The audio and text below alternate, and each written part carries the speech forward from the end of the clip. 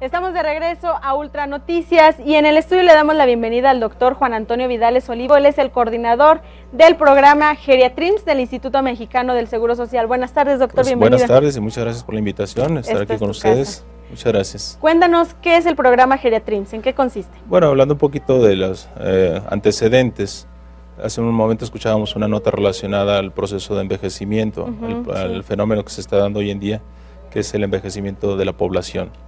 Nuestro país no es ajeno a otros países en los cuales se está creciendo de manera muy acelerada el grupo de población de, de ancianos, de adultos mayores, y con todo lo que conlleva este, este fenómeno.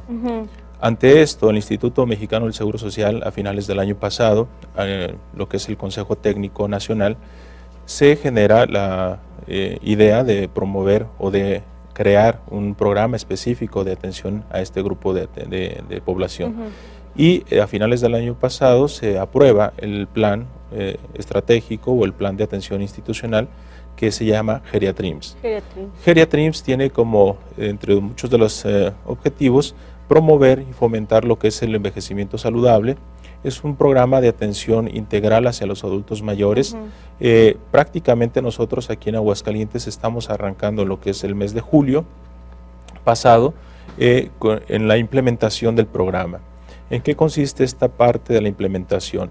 La primera tarea que tuvimos fue el iniciar un curso de capacitación hacia enfermeras, hacia médicos familiares de las unidades médicas de aquí de Aguascalientes. Eh, posteriormente a este curso se inicia la conformación del equipo de atención geriátrica.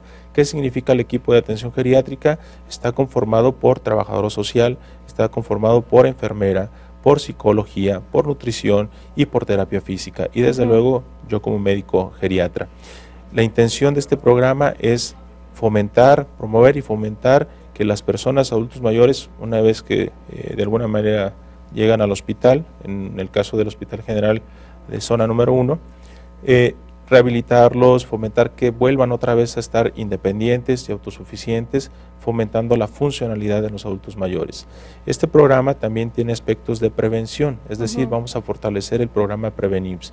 En ese sentido vamos a aplicar lo que se llama gerontoprofilaxis.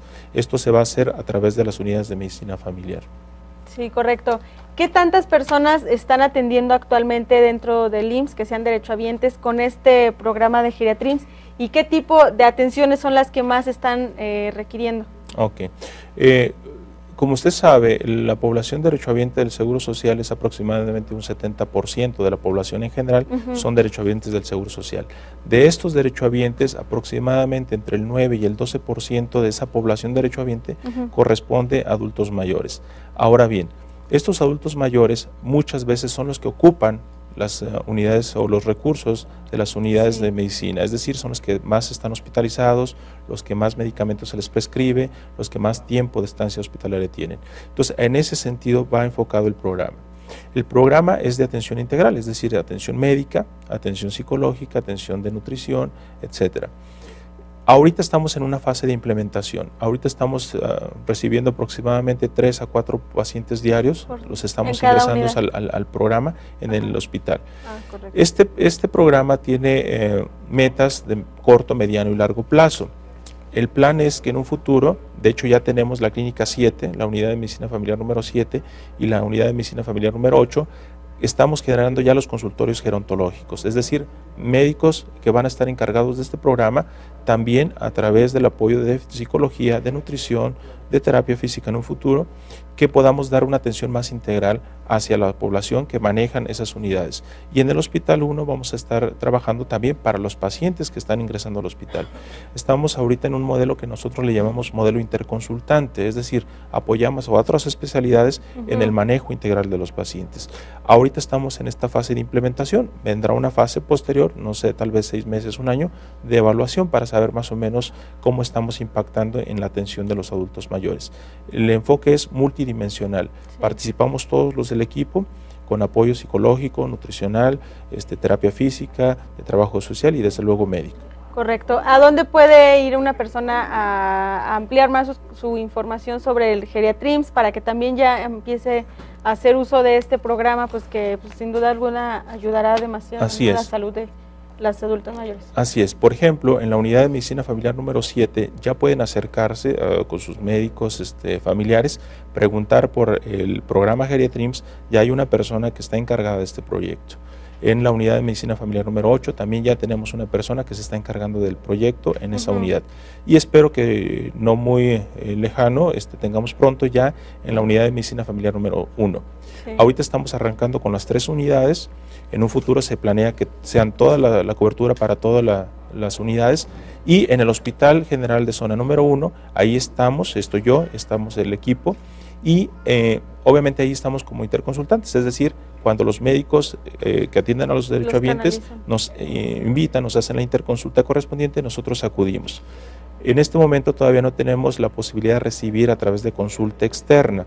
El plan es que en un futuro ya logremos esto. Yo espero a más tardar un mes, dos meses, tener ya estructurada la consulta especializada de geriatría. Ese es el plan, estamos trabajando en esto. Yo espero que pronto tengamos noticias para que ya este, eh, a través de las unidades de medicina familiar se haga la referencia de los pacientes derechohabientes hacia el Hospital 1 para consulta de geriatría.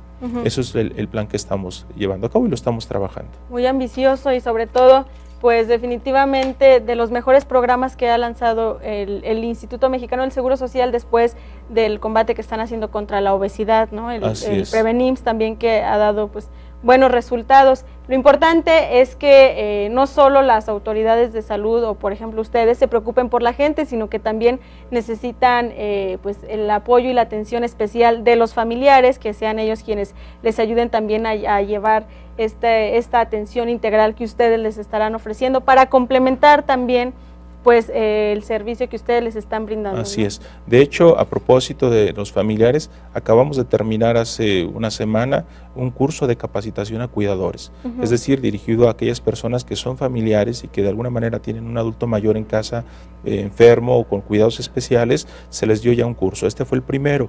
Está planeado un segundo curso para el mes de octubre posiblemente. Obviamente va a haber información a través de las unidades de medicina familiar.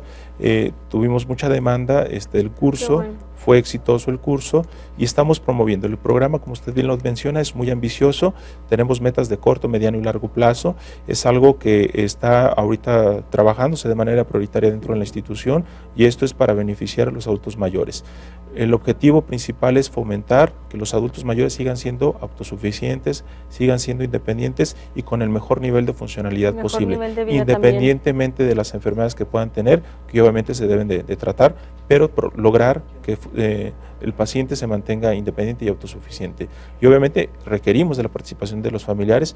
Dentro del programa se les educa, se les orienta, se les asesora en muchos de los cuidados. Esa es también parte de nuestro trabajo. Doctor, muchísimas gracias por la visita a Ultranoticias. Pues muchas gracias a ustedes por la invitación y pues estoy a sus órdenes. Agregar? Pues nada más estoy a sus órdenes y este eh, yo espero que este proyecto pronto este, se haga un, poquito más extensivo a todas las unidades y se, está, se está estructurando bien. Entonces esperemos que pronto tengamos resultados. Muchísimas gracias, doctor. Buenas tardes. Vamos a hacer una última pausa, no le cambie que ya volvemos a Ultranoticias.